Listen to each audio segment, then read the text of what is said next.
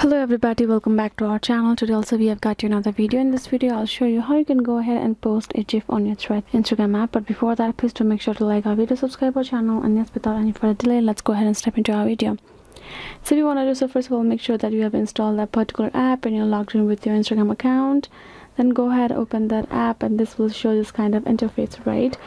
So if you want to post a particular gif what you can do is you can simply go ahead download that particular gif that you want to share from your uh, and you can go ahead tap on this pencil icon with this cube icon over here tap on it and you can go ahead and uh, tap on this again i showed you this icon and tap on the particular gif from your gallery tap on this done option. And you can see that particular gif is now uploaded over here. I can tap on this post option and i'm good to go. I will be able to post this particular gif right there in your threads.